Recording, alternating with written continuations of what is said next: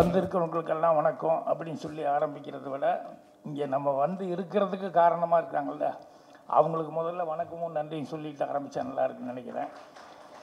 அதுதான் இன்றைக்கி தமிழ் சினிமா வரலாறுங்கும் போது அது ஒரு பெரிய பட்டியலே இருக்குது இந்த சினிமாவை முதல் முதல் கண்டுபிடிச்ச லூமியர் சகோதரர்கள்லேருந்து அப்புறம் நாடகத்திலேருந்து சினிமாவுக்கு ஏன்னா நாடகம் தான் பேஸு அதுக்கப்புறம் அதில் வந்து Sankaradas சுவாமிகள்லேருந்து Pammal Sambandha Mudaliar T P Rajalakshmi Raja Sandow Ellis sir Dungan K. Subramaniam sir அப்புறம் ப்ரொடியூசர்ஸ் ஏவிஎம் எங்கேயோ எதிரியோ இருந்தவங்க இதுக்குள்ளே வந்தாங்க. அவங்க வந்ததுக்கப்புறம் இன்னும் ஸோ ஏவிஎம் அவங்க SS Warren sir modern theatres இவங்களுக்கெல்லாம் முதல்ல வந்து ஏன்னா நம்மெல்லாம் வந்து வளர்றது வந்து அவங்கள வச்சு தான் வந்தோம். ஸோ அவங்களுக்கு முதல்ல வணக்கத்தையும் நன்றியும் தெரிவிச்சுக்கிறேன். அதுக்கப்புறம் எங்களோட இருக்க மேடையில் கொண்டிருக்கிற மரியாதைக்குரிய அனைத்து பிரமுகர்கள் அப்புறம் ரொம்ப ரொம்ப மரியாதைக்குரிய பிரமுகர்கள் முன்னால் இருக்கிறவங்க தான். ஏன்னா நீங்கள் ரசிக்கிறத வச்சு தான் நாங்கள் புலப்பு தள்ள முடியும். அதே மாதிரி இதை கொண்டு வந்து சேர்த்துற பத்திரிக்கையாளர் நண்பர்கள் அவங்களுக்கும் என்னுடைய பணிவான வணக்கத்தை தெரிவிச்சுக்கிறேன். செழியன் அவர்கள் வந்து நல்லா புஸ்தகத்தை கரெக்டாக படிச்சுட்டு அதில் வர்ற சீன்ஸுகள்லாம் எதெல்லாம் இன்ட்ரெஸ்டிங்கோ என்ன லவ் சீன்ஸு அது இதுங்கிறதெல்லாம் வந்து அழகாக சொல்லிட்டு வந்தார்.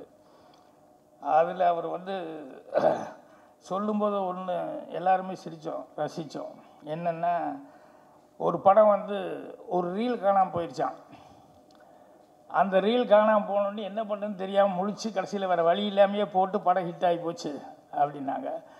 இப்போ ரீல் எல்லாம் காணாமல் போகிறதில்ல ஆப்ரேட்டர் ரீல் எடுத்து வச்சிடுறான். நிறைய படங்கள்லாம் அப்படி எடுத்து வச்சுட்டு அதனால் படம் ஹிட் ஆகிடுது அதனால் மறுபடியும் அந்த ரீலை சேர்த்தலைன்னா ஐயோ வேண்டவே வேண்டாங்க அப்படின்னு சொல்லிட்டு. அவன் அவ்வளோ கெட்டிக்காரத்தனமாக இருக்கான். அப்புறம் ராஜேஷ் வந்து பேசுனது தான் நிறைய மேட்டர் எனக்கு கிடச்சிது. ராஜேஷ் பேசும்போது ரொம்ப சொன்னார். என்னென்னா என் பொண்டாட்டி கேட்க மாட்டேங்கிறா என் பையன் கேட்க மாட்டேங்கிறான். இன்னும் யார் யாரோ எல்லாம் பட்டியலே சொன்னார். வாத்தியார்னா அப்படி தான் சார் கேட்க மாட்டோம். வாத்தியார்னாவே வேப்பங்காய் மாதிரி தான் இருக்கும்.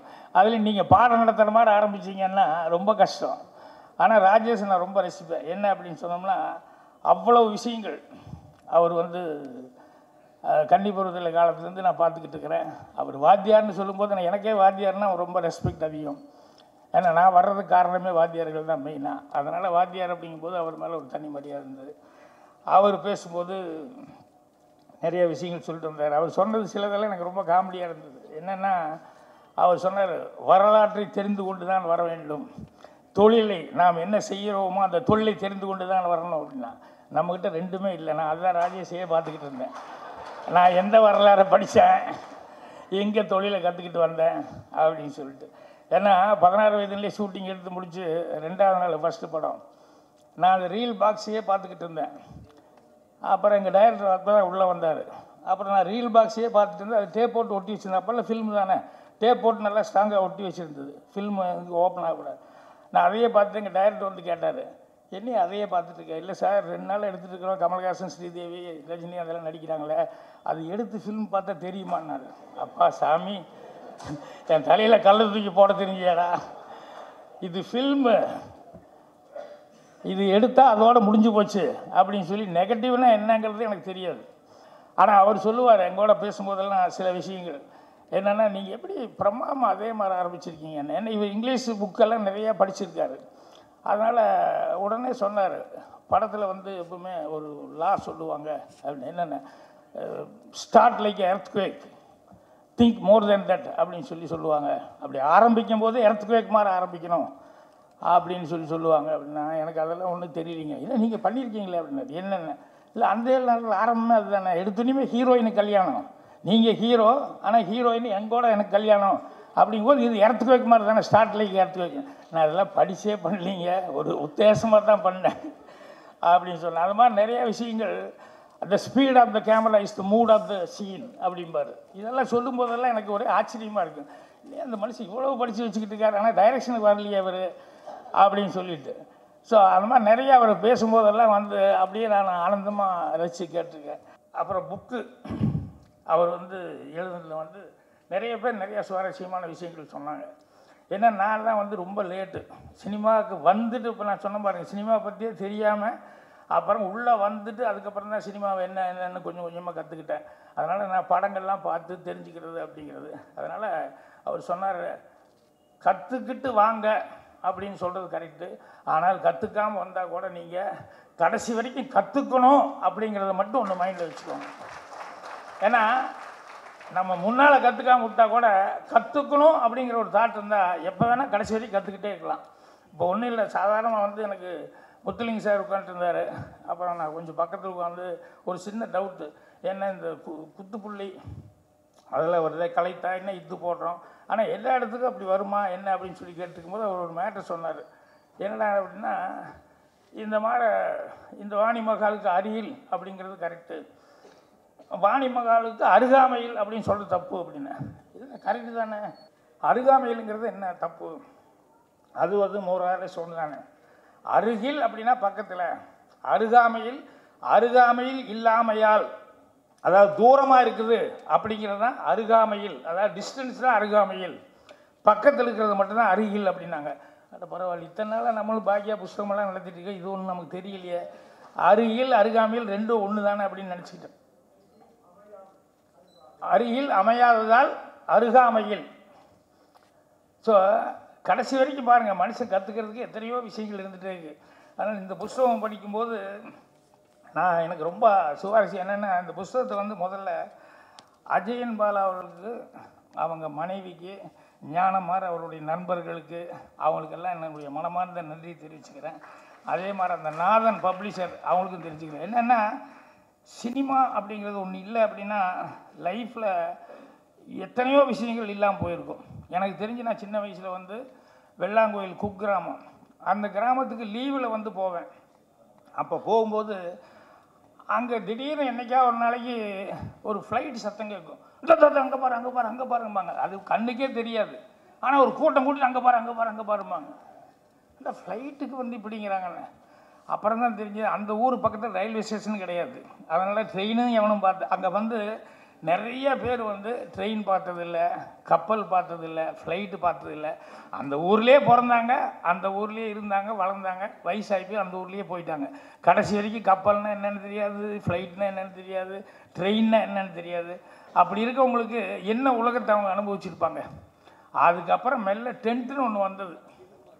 அடுத்த தடவை நான் லீவுக்கு போகும்போது பார்த்தா தேட்டரில் வந்து உட்காந்து படம் பாட்டு ஓ இதான் ரயிலா? அப்படின்னு சொல்லி அந்த சந்தோஷப்பட்டவங்க ஓ இதான் கப்பலா? அப்படின்னு சொல்லி. இப்படி உலகமே என்னன்னு தெரியாமல் இருந்த அந்த இதில் ஒரு டென்ட்டில் டூரிங் டாக்கீஸில் சினிமா கொண்டு வந்து விட்ட உடனேயுமே அந்த சினிமா மூலமாக தான் அவ்வளவு நாலேஜ் அப்படிங்கிறது வந்து எல்லாத்துக்கும் வர ஆரம்பிச்சுது. அதை பார்க்கும்போது ரொம்ப சினிமாவுக்கு எவ்வளோ பவர் இருக்குது அப்படிங்கிறத வந்து நினச்சி அதை நினச்சி நான் சந்தோஷப்பட்டேன். அப்போது ஒரு நாள் அந்த டென்ட்டில் படம் பார்த்துட்டு வெளியே வரும்போது இந்த பசங்கள்லாம் சினிமாவை பற்றி பேசும்போது எல்லோரும் முடிஞ்சுன்னே வந்து அப்படியே ஒரு ஓரமாக பிஸ் போயிட்டு இருப்போம்ல. அப்போ எல்லோரும் சொன்னானுங்க இந்த பசங்கள்லாம் வந்து "ஏ, சினிமா பிரமாமா இருக்குது அப்படின்னு. அப்போ நான் சொன்னேன் ஒரு நாளைக்கு இந்த ஊர் டென்ட்டில் என் சினிமா ஓட போது நீங்கள் எல்லாம் இதே மாதிரி பார்க்க போகிறீங்க அப்படின்னு. அப்போ எல்லாம் சிரித்தாங்க அதுக்கப்புறம் வந்து அதே மாதிரி அந்த ஊரில் போய் ஷூட்டிங் எல்லாம் அதுக்கப்புறம் நான் வந்து ஷூட்டிங் எடுத்துக்கும் போது நான் அங்கே வந்திருக்கேங்கிறதுனால சூரலா சித்திரங்கள் படத்தை கொண்டு வந்து அந்த டென்ட்டில் உணர்ந்து போட்டான் அந்த டென்ட்டுக்காரன் உடனே நாங்கள் யூனிட்டோடு போனோம். அப்போ அன்னைக்கு யார்கிட்ட சொன்னோம்? அவங்கெல்லாம் எங்கூட பாக்கியா பாக்கியான்னு வந்திருந்தாங்க. அப்புறம் படம் முடிஞ்சது. சொன்ன மாதிரியே செஞ்சுட்டேன் பாக்கியா. ஒரு நாளைக்குன்னா ஒரு நாளைக்கு இங்கே நம்ம ஊரில் இது போகுது நீங்கள் எல்லாம் பார்க்க போகிறீங்கன்னு சொன்னேன் அதே மாதிரி நீ நடிச்சிட்டியே அப்படின்னா என்னென்னா எண்ணம் லைஃப்பு அது மேலே நம்ம எவ்வளோ இன்ட்ரெஸ்ட் எடுத்துக்கிறோமோ அதை பொறுத்து தான் எல்லாமே நடக்கும். அதனால் அவர் அஜயன் பாலா வந்து இந்த புக்கு எழுதுனதில் வந்து எத்தனை அவர் இவரெல்லாம் படித்து சொல்ல சொல்ல எனக்கு செலின்னு சொல்ல சொல்ல அவ்வளோ கேட்டுக்கிட்டே இருந்தேன். அவ்வளோ இன்ட்ரெஸ்டாக இருந்தது. அதனால் இந்த புக்கு வந்து ஒரு படி வரலாறு வந்து அவசியம். எல்லாரும் படிக்க வேண்டியது. இந்த சினிமாவை பற்றி எல்லாருமே தெரிஞ்சுக்க வேண்டியது. சினிமாவில் வந்து சினிமாங்கிறது நம்மளை பொறுத்த வரைக்கும் நம்மளை சினிமாவில் இருக்கிறவங்க எல்லாத்துக்குமே வந்து இது அந்த லூமியர் சகோதரர்கள் கண்டுபிடிச்சாங்களே அதுதான். அப்புறம் இன்னொன்று அவர் சொல்லும்போது சொல்லிட்டு இருந்தார். ராஜேஷ் சொன்னார் நான்லாம் எடுத்தால் சொல்லிடுவேன். நாலு நாள் நீங்கள் ஊரில் இல்லை உங்கள் மரத்துலேருந்து நான் எடுத்துட்டேன். அப்போ திருட்டு கிடையாது சொல்லிட்டேன். இப்போ திருட்டுன்னு சொன்னாலும் ஒத்துக்க மாட்டேங்கிறானுங்க. அட நான் கூட திருட்டுன்னு சொல்லல. இதுவும் அதுவும் ஒத்து போகுதுப்பா உன்னை நான் கொச்சப்படுத்தக்கூடாது. உன்னை கௌரவ குறைச்சல் நடத்தக்கூடாது. அப்படிங்கிறதுக்காக ரொம்ப பவியமாக சொல்கிறேன் தெரிஞ்சோ தெரியாமையோ இதை உன்ன மாதிரியே அவனுக்கு ஒரு தாட் வந்து உன்ன மாதிரியே அவனுக்கு சீன் பண்ணிட்டான் இது முதல்லும் ஒத்து போகுது நடுவுலையும் ஒத்து போகுது கடைசியிலையும் ஒத்து போகுது அவன் உனக்கு முன்னால் பதிவு பண்ணிட்டான். அதுக்கு அதுக்கு நான் எப்படி ஒத்துக்குவேன்? இப்போ என்ன எங்கே போய்? இவங்களெல்லாம் என்னைக்காவது ஒத்துக்க வைக்க முடியும்னு நினைக்கிறீங்க? முடியவே முடியாது கஷ்டம். அவர் இங்கே தான் இந்த விஷயத்தில் தான் அப்படின்னா இதுக்கு முன்னாலேயே இது ஒரு அனுபவப்பட்டிருக்காரு. சைலண்டாக நின்றுருக்காரு. என்னென்னா சில கேரக்டர்கள் அப்படி இருக்குது. அதை வந்து சினிமா வந்து எங்கள் ஊர்ல எல்லாம் வந்து அந்த காலத்தில் சினிமா அப்படின்னு சொல்லி சொன்னோம்னா பெல்ட் எடுத்து ரெடி அப்படின்னு சொல்லிட்டு அடிக்க வருவாங்க எங்கள் அண்ணா எல்லாம். சினிமாவாது நாடகமாவாது. அப்படின்னு ஏன்னா சினிமாவுக்கு ஒரு அதை ஒரு அடையாளம். இது இது கரெக்ட் இது நல்லது அப்படின்னு சொல்லி தெரிஞ்சுக்கிறதுக்கு வந்து ரொம்ப காலம் ஆச்சு. அதுக்கப்புறம் தான் இப்போ விஷுவல் கம்யூனிகேஷன் அது இதுன்னெல்லாம் வந்திருக்கு. ஆனாலும் இப்போ அவங்க சினிமாவுக்கு போவையா சினிமாவுக்கு போவையான்னு அடிச்சது இப்போ கரெக்டான சினிமா எடுக்கலைன்னா அடிக்கணும் அப்படிங்கிற மாதிரி இருக்குது அதே மாதிரி அன்னைக்கு நான் சொன்னேன் நீ வந்து என்ன தான் அடுத்தவன் ட்ரெஸ்ஸை நீ ஆர்டர் பண்ணி போட்டால் ஃபிட்டிங் கரெக்டாக இருக்கும் உனக்கு. ஆனால் அது பழசு தான். உன்னோட மாதிரி ஒரிஜினல் மாதிரி வராது. அது பழசு தான். அதனால் தயவுசெய்து வர்ற ஜென்ரேஷன் அதை பண்ணாதீங்க அப்படிங்கிறத நான் கேட்டுக்கிட்டு இருக்கேன். அதனால் சினிமா நல்லா இருக்கணும் அப்படின்னு சொன்னோம்னா இன்ஸ்பிரேஷனாக வந்து எடுத்துக்கிட்டு எதாவது பண்ணலாம் ஒழிய இங்கே கொஞ்சம் சுட்டு அங்கே கொஞ்சம் சுட்டு அங்கே கொஞ்சம் சுட்டுன்னு சொன்னோம்னா தேரவே முடியாது. கஷ்டம். அது ரொம்ப லாங் லைஃப்பும் வராது. அதனால் இந்த புஸ்தகம் வந்து இவர் எழுதுனதுங்கிறது வந்து சினிமாவில் அவர் நிறைய சாதிக்கணும் அப்படிங்கிறது அவருக்கு எவ்வளோ பெரிய மனசுக்குள்ளே இருக்குதுங்கிறது எனக்கு தெரியும். அதை விட இது உங்களுக்கு மிகப்பெரிய ஒரு சாதனை சார். இதை நீங்கள் செஞ்சிட்டீங்க. இதில் சொன்னார் சிவாஜி சார் வரல அப்படின்னு சொல்லிட்டு.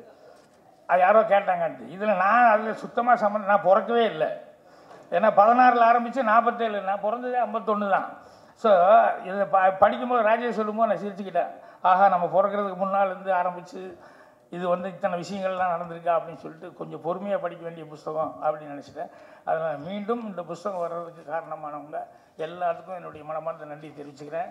அஜயன் பாலா நீங்கள் வந்து ஒரு சாதிச்சிருக்கீங்க. இதுதான் உங்களுக்கு மிகப்பெரிய ஒரு பொக்கிஷம். லைஃப்பில் வந்து என்றைக்கும் வந்து உங்களுக்கு பேர் சொல்லக்கூடியது.